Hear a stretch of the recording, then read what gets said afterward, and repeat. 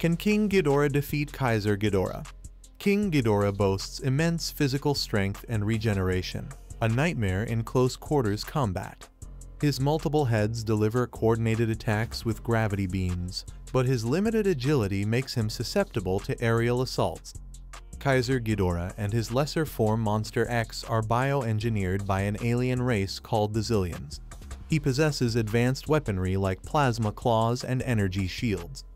Kaiser Ghidorah is on a whole other level when compared to other iterations of this character. Even evolved Godzilla would have trouble defeating him. The victor depends on the environment and potential allies. King Ghidorah could leverage the terrain to counter Kaiser Ghidorah's flight advantage, while allies disrupting Kaiser Ghidorah's technology could tip the scales. This battle between brute force and technological prowess promises to be a spectacle. Shimo, the glacial titan, could potentially defeat Kaiser Ghidorah through strategic use of her ice powers. By encasing Ghidorah's multiple heads in thick layers of ice, she could significantly reduce its mobility and ability to attack.